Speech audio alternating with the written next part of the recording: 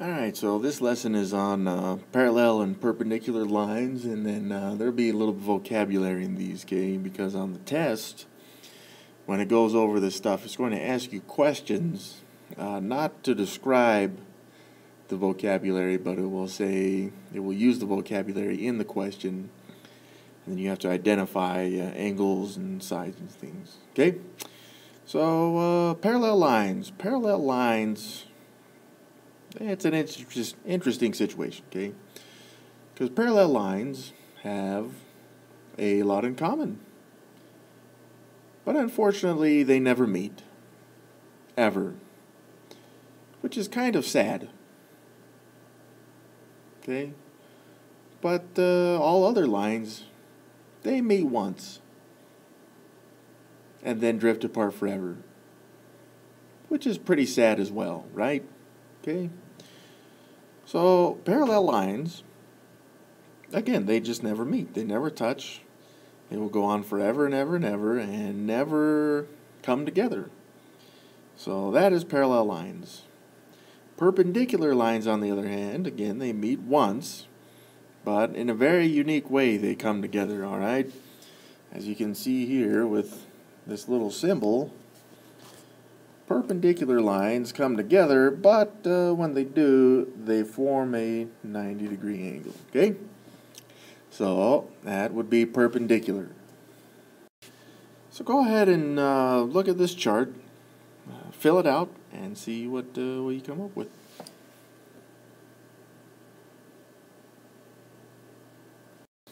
Alright, uh, so you have your stuff. This is what the book has. You can copy it down if you want, uh, but just uh, some quick answers if you need them. Alright, so let's look at uh, some of the terminology here, alright? So it gives us this example. Again, that's not going to matter too much, okay, because this is just one example. In some cases, you'll see two lines. Now, the thing about these lines is that they are parallel. And notice the book is using these red um, arrows to indicate that they are parallel. Okay, all of the pretty much all the vocabulary today requires that these two lines be parallel.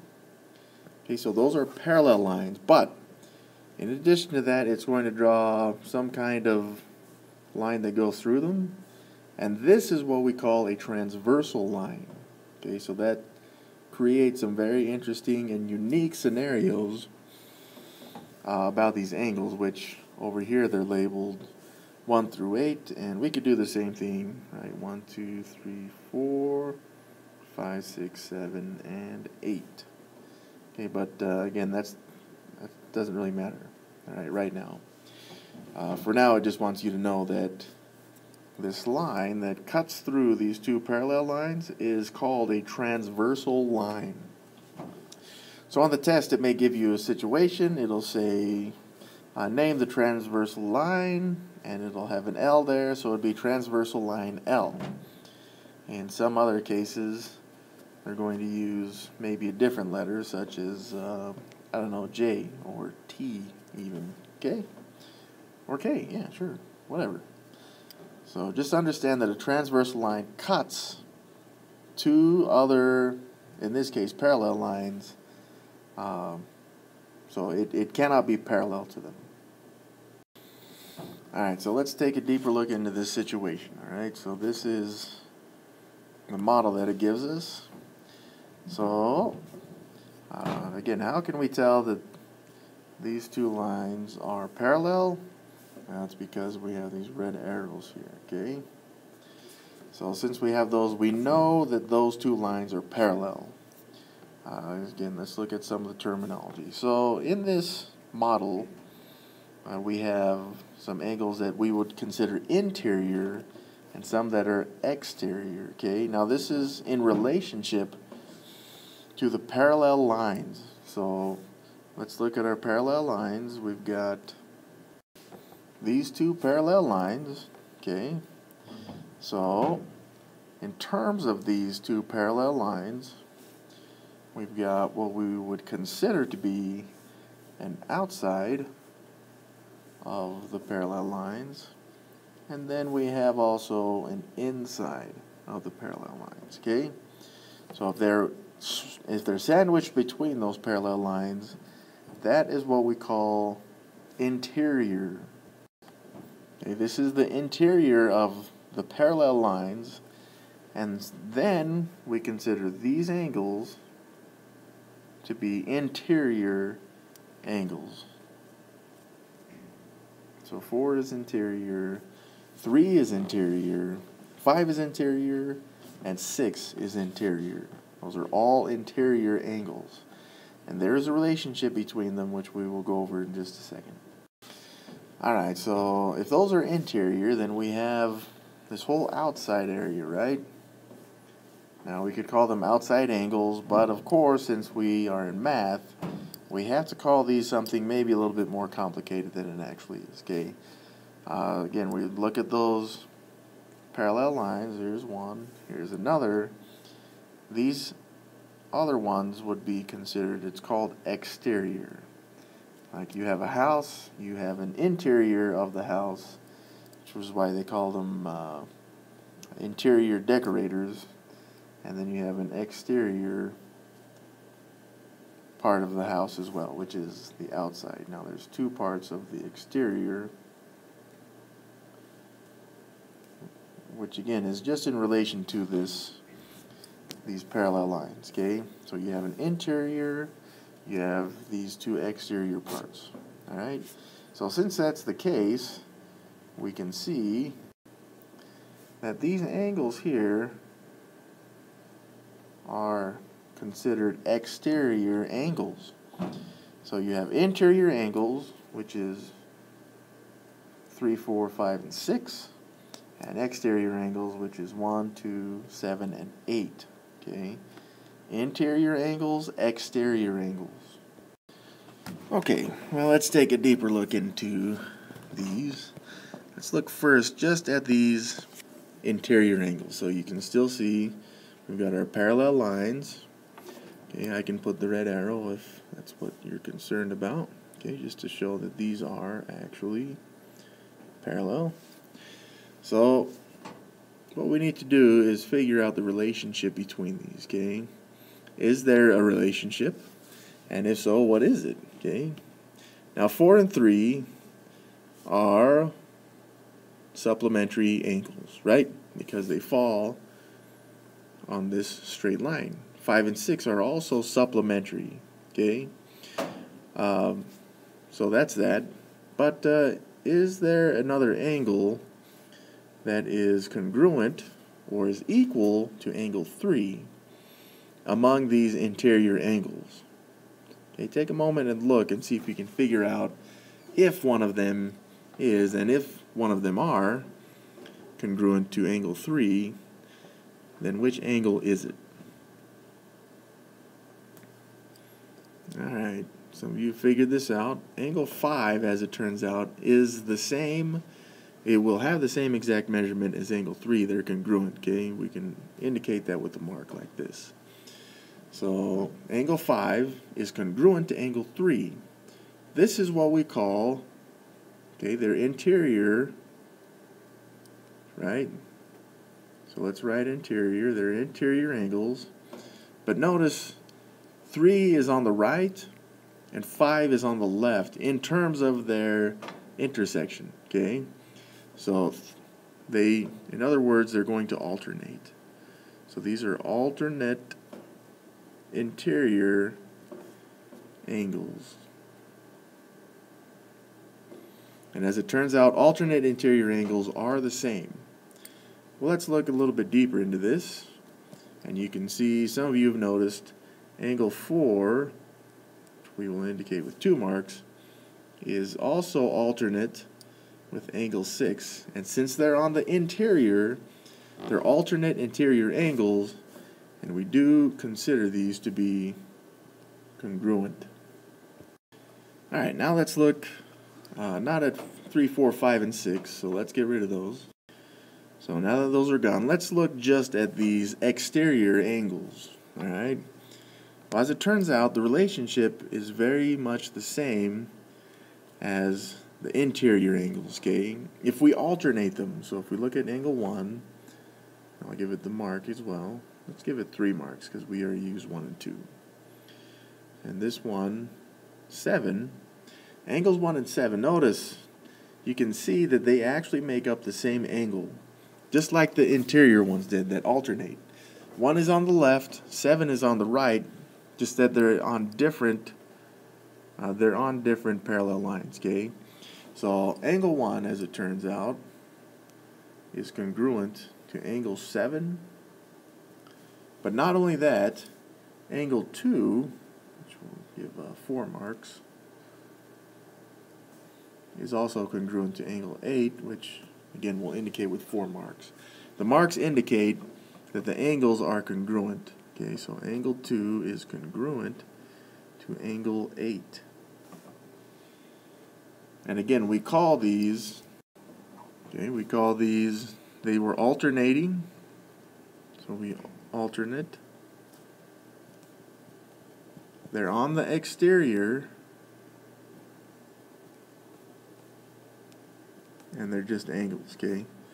So alternate and exterior angles are and have a congruent relationship. Again, I'm going to point this out. This only works if these lines, these two lines here, this one and this one, if they are parallel, these only are congruent if they're parallel. Okay? Uh, you can still have alternate exterior and interior angles, but they won't be congruent if these are not parallel. Okay? But these ones are parallel, so they are congruent. Okay, let's look at this once again. So we've gone over exterior angles, interior angles, alternate interior angles, and alternate exterior angles, and how they have congruent relationships with those alternating angles. All right, but let's look at another situation here. So let's look and uh, let's split this into two separate parts, okay? So I don't really need this or this. Alright, so what we have here now, again, those lines are parallel, which is crucial what we're doing here. We have two intersections, okay, and I made points there. And uh, let's look. Okay, so each of these is going to have a part in their respective intersections, right? For example, Angle 1 is in the top left corner of its intersection. Angle 5 is also in the top left corner of its intersection. So, as it turns out, angle 5 and angle 1, they are congruent. Again, this only works because these are parallel lines. Okay, angle 1 and 5 are corresponding. They have the same corresponding part in the intersection. So these, as it turns out, again, let's write this, they are corresponding angles, and they do create a congruent relationship. So if we look at angle 1, we have uh, we have that angle 1 is congruent to angle 5 because they're corresponding angles. Not only that, but angle 1 is congruent to angle 7. Why are why is angle 1 congruent to angle 7? Because angle 1 and angle 7 are alternate exterior angles. It's again, it has to do with these lines being parallel. Okay? Since the lines are parallel, angles 1 and 7 are congruent because they're alternate exterior angles. Okay, so notice that creates a relationship between angles 5 and 7. Okay, 5 and 7 are congruent because they're congruent to angle 1. Um, but not only are they congruent to angle 1 because they of their corresponding part and their alternate exterior, but also some of you may remember this, but these are vertical angles. Vertical because they go through uh, this point here, which would be called a vertex. So angle 7 is congruent to angle 1. Angle 5 is congruent to angle 1. Right, let's go ahead and write these down. So we have, but then in addition to that, notice angle 1 is vertical with angle 3, which is also alternate interior with angle 5, and it's corresponding with angle 7. So as it turns out, angle 1 is also congruent to angle 3. So if we were to write this out using a list, we could say that angle 1 is congruent to angle 5, which is congruent to angle 7, which is congruent to angle 3. Okay? And again, the relationships are different. If we look back, angle 5 is corresponding with angle 1. Angle 7 is alternate exterior with angle 1 and angle 3 is vertical to angle 1. And these are all congruent relationships because of these parallel lines. So let's take a look again. Okay, If we were to look at angle 2, what angle is alternate exterior with angle 2? Angle 8. Angle 8 is alternate exterior with angle 2. What angle is corresponding with angle 2? Alright, so let's look. Angle 2 is in the top right of its intersection.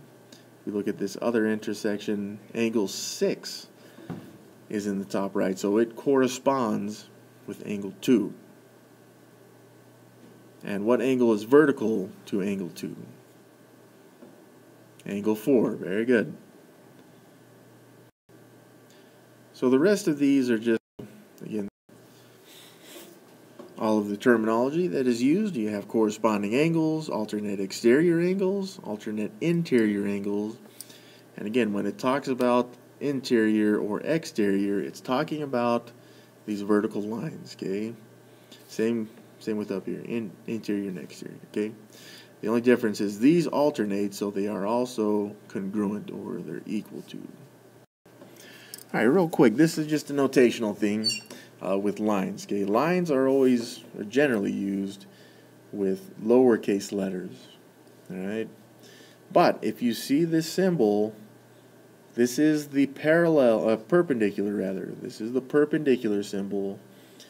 If you see two lines, sometimes they're slanted like this, and as you can see right here, there's just two uh, lines like this. And if Maybe they'll use A and C or U and T, doesn't matter. And that indicates that the two lines are parallel. So perpendicular here in green and parallel here in the red. So let's look at an example. How would I want to show if I had uh, two lines, let's say uh, S and J. Right? If I have two lines S and J, how would I show that those two lines are perpendicular? Well, if I wanted to write it out, I would say S is perpendicular to J. And again, the order doesn't matter. So some of you may want to write J is perpendicular to S. That doesn't matter. Well, what if I wanted to write that M is parallel with, uh, I don't know, uh, C. All right. So I would say that M is parallel. I like to use the slanted lines, but again, you can use them straight up if you want. M is parallel with C. So C is parallel with M, whichever way you want to use. All right, so let's look at these. We've got angles 1 and 7. What is their relationship on this one? Well, notice both of them are on the exterior, so we know they're exterior. Right, both of them are on the exterior. Yes, they are angles, so that's fine. Uh, but they alternate. Notice one is in the left, 7 is on the right as far as the exterior parts go, so they are also alternating. So we would call these alternate exterior angles. Okay. What about angles 2 and angle 6? Are they exterior? No, both of them are not exterior. Because angle 6 is interior. So are they both interior? No. Because angle 2 is exterior. Uh, so let's look at the intersections then. Okay, 2 is in the top right of its intersection. 6 is in the top right of its intersection. So these are corresponding angles.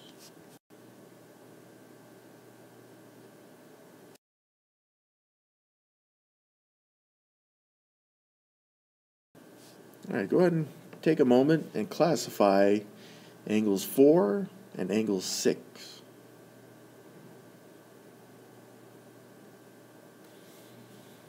Let's take a look. Again, we're looking at angles 4 and 6. So, angle 4 is right here. And angle 6 is right here. Uh, okay, are they exterior? No. Neither of them are exterior. Are either of them interior? Yes, as it turns out, both of them are actually interior angles.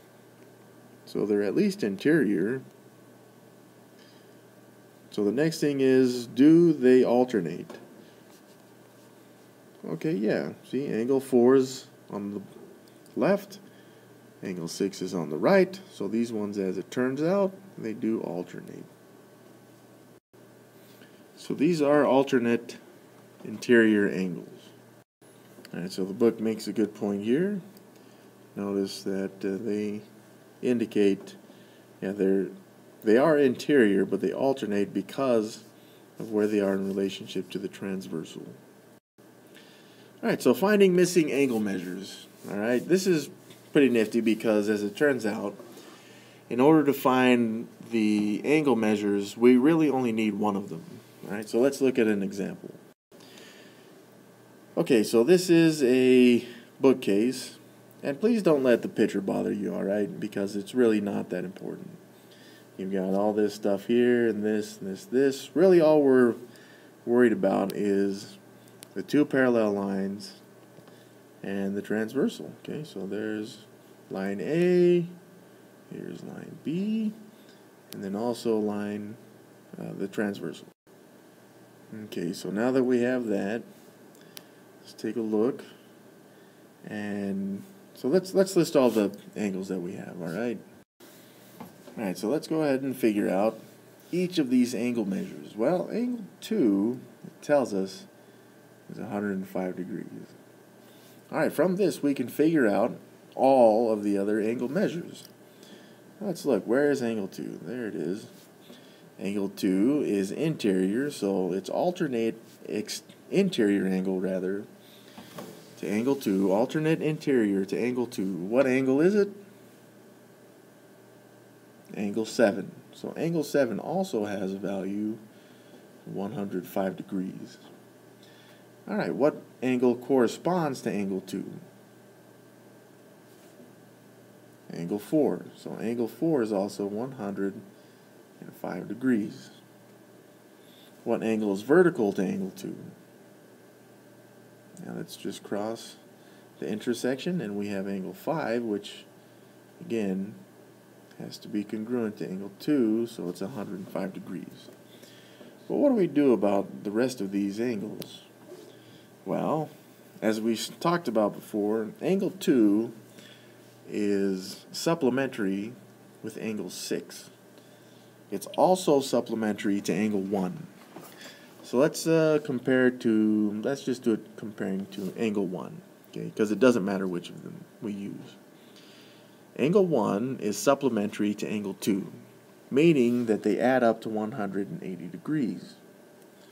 If I took angle 1 and added it to angle 2, I'd get 180. So to find angle 1, I'm just going to subtract angle 2, which is 105. And what do we get?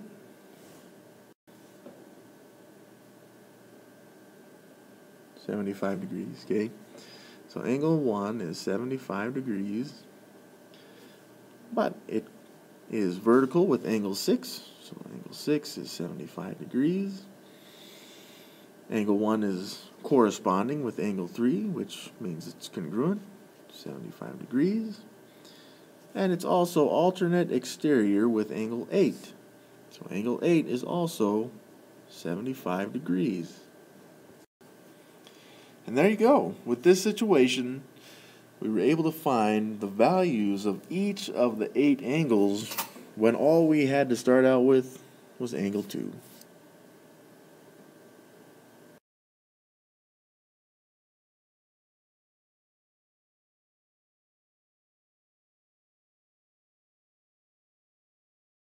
All right, let's look at this example. Okay, now some of you are looking at this, and how many transversals are there? Two. Two transversals. What lines make up the transversals? Very good. You got line Q and line P, which transverse through, and they didn't show this in the book, but uh, we're just going to say that line M is parallel with line N. Okay? So, uh, it tells us angle 8 is 90 degrees. Angle 1 is 40 degrees. So let's list all the other angles that are congruent to angle 1. Well, angle 1 right here is alternate exterior with angle 6.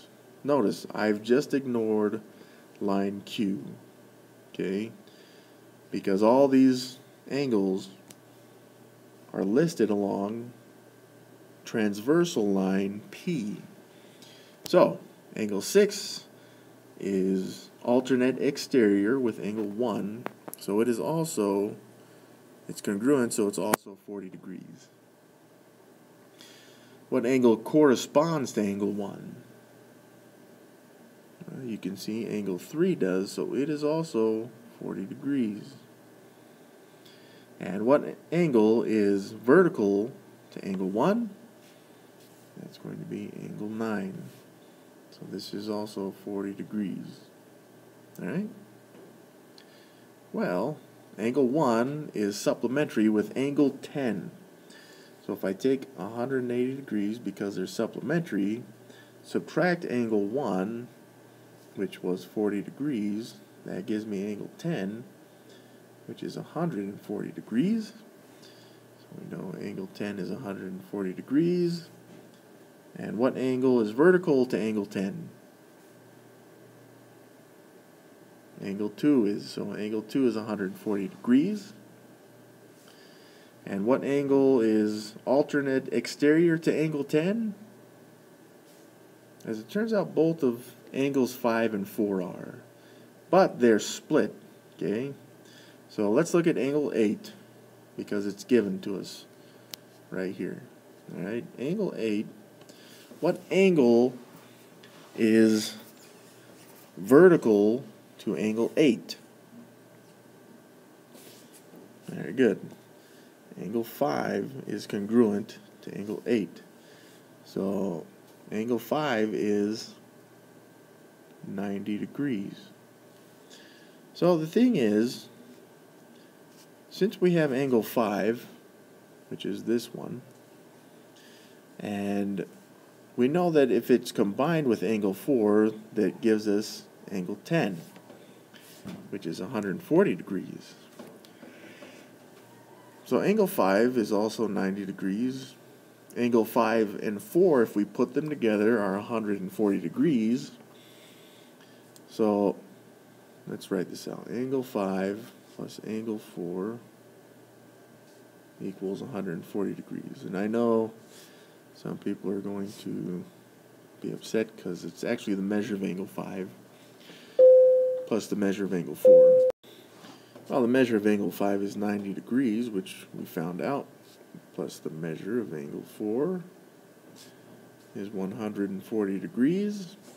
So you can see from this, if you were to solve for the measure of angle 4, it would give you 50 degrees. Okay.